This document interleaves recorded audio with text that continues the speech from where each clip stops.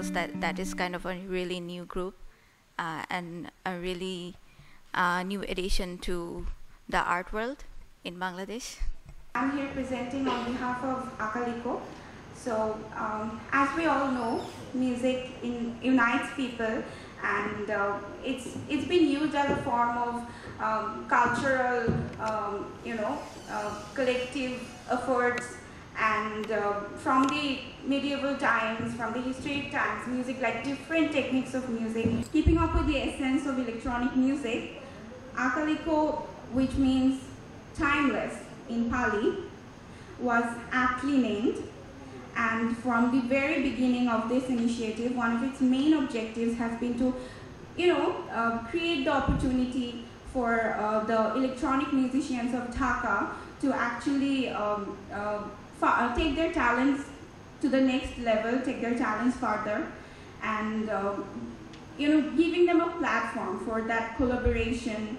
And um, although Akaliko is primarily a record label producing um, solo artist tracks and audio art projects. It also uh, is always you know, curious to collaborate with artists from other professions, performance artists and um, psychologists and dancers, choreographers, so they're always welcome.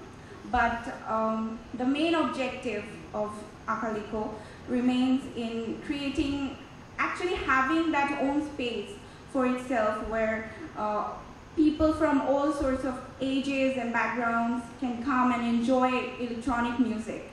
And we also hope to um, actually host our workshops there and, um, you know, uh, just basically wants to keep motivating its pool of artists into pursuing their individualistic talents and it has already worked with artists like um, the B Regiment, Sinin, Solarin, Dhaka Dub, Hierarchy, Big Machete, and Deep Steel. So um, today we're going to present one sample of our work.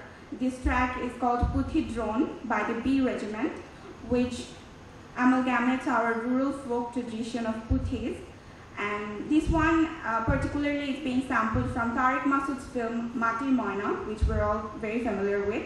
And it is somewhat juxtaposed with drone electronic music. And this concept track simply explores the aspect of how electronic music can be owned, you know?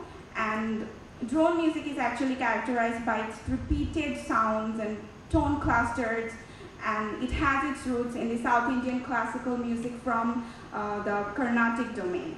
So uh, let's hear Puthidro.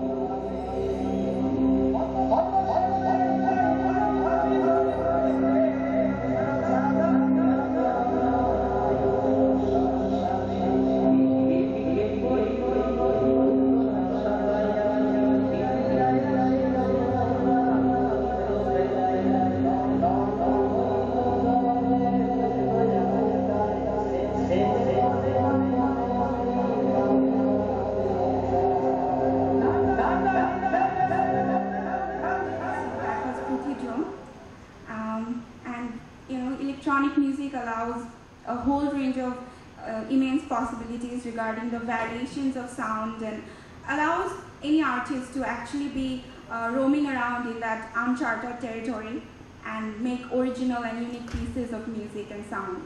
So, and as you just heard one of the examples there. Um, we have today with us twin, uh, some um, complimentary copies of our compilation translations for all the collectives that are present here today and uh, we're always very willing and welcome for collaborations, cross-media collaborations as well. So please feel free to contact us, drop us a message, and uh, for all your queries, if you have any questions, um, I'm welcoming one of the founders of Akaliko, uh, Khan Mohammad Faisal on stage. Hey Faisal, Hello. how are you doing? So um, as me and you know that we are going to collaborate in the next season we have in Toronto. So as she was asking, if you are planning to collaborate in, uh, with an artist group, so I think it, it would be better, uh, or, or, it would be um, fun to hear what you are uh, looking forward uh, with Toronto uh, the artist community, the first artist community you will be directly working with on uh, in Sunamganj. We are planning the sixth and seventh season. You remember, right? yeah, yeah, I do. So you can share your um, uh, thoughts, like you were sharing with us, uh, that for the, for the first time you will be uh, going to a village area, a rural area, and experiencing the area, and you will have um, productions there. So I think um, it would be fun to hear a few words on that. Because there are platforms like SoundCloud where artists can get in touch with each other, and since most of the work uh, is done on, I mean, on digital softwares, the files can be transferred regardless of where the other person is. So that's one way of collaborating. And then there are collaborations like locally where artists can get together and jam like, like any other uh, music. So there was one project we collaborated with this British artist called Gowan, who, uh, who is a music technologist, and we basically uh, facilitated a project where our artist, um, um, over a period of time, developed this piece of uh, photograph, digital, it's like a combination of a digital photograph and sounds combined. Uh, I really can't explain it in words. I, I wish I, I could have shown that, but yeah. And then there are projects where uh, we got in touch with videographers and they have made promos for us and also created artwork. And, and right now we're currently working on a couple of music videos right now. So yeah.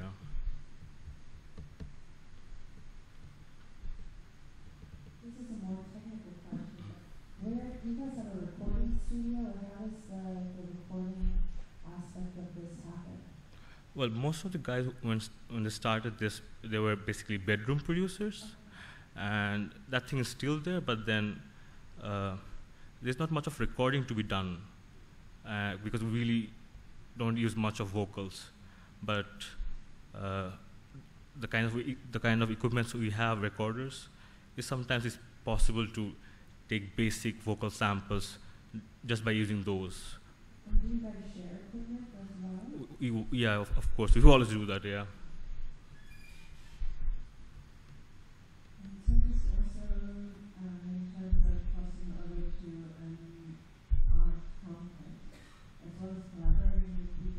Well, uh, most of the events we did so far were at various cultural centers. We haven't done this commercially yet, but we plan to do so. And uh, we, we have used uh, Goethe Institute's Berlin Hall a lot. So they have been supporting us for a while. And that has been quite a good space for us to experiment and uh, get our artists experience performing live, live in front of an audience.